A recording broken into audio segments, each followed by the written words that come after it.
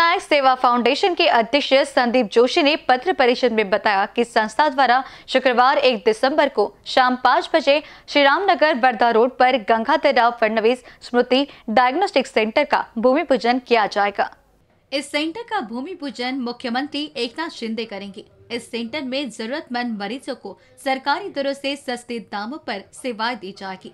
Centre के भूमि पूजन के दौरान केंद्रीय मंत्री नितिन गडकरी उप मुख्यमंत्री देवेंद्र फडणवीस चिकित्सा शिक्षा मंत्री हसन मुशरीफ भाजपा के प्रदेश अध्यक्ष चंद्रशेखर बावनकुड़े उपस्थित रहेंगे। जोशी ने बताया कि नासुप्र द्वारा लीज पर दिए गए 16,000 वर्ग फीट जगह पर सेंटर को उभारा जाएगा। इस सेंटर के ग्राउंड फ्लोर पर पार्किंग वेटिंग हॉल कार्यालय ओपीडी और पैथोलॉजी रहेगी। पहली मंजिल में एमआरआई सेंटर होगा। इसमें तीन टेस्ला तकनीक वाली दो एमआरआई मशीनें 128 light CT scan machine ultrasound और एक्सरे मशीन होगी।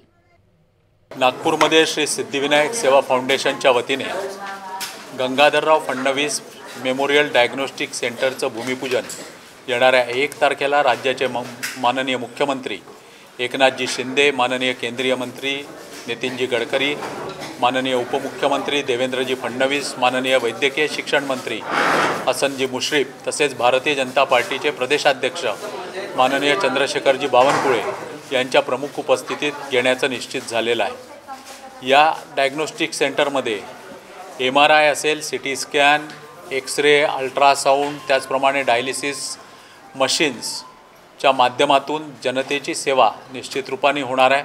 याचे दर जे आहे ते शासकीय दरांपेक्षा देखील कमी दरांमध्ये ही सेवा उपलब्ध होणार आहे.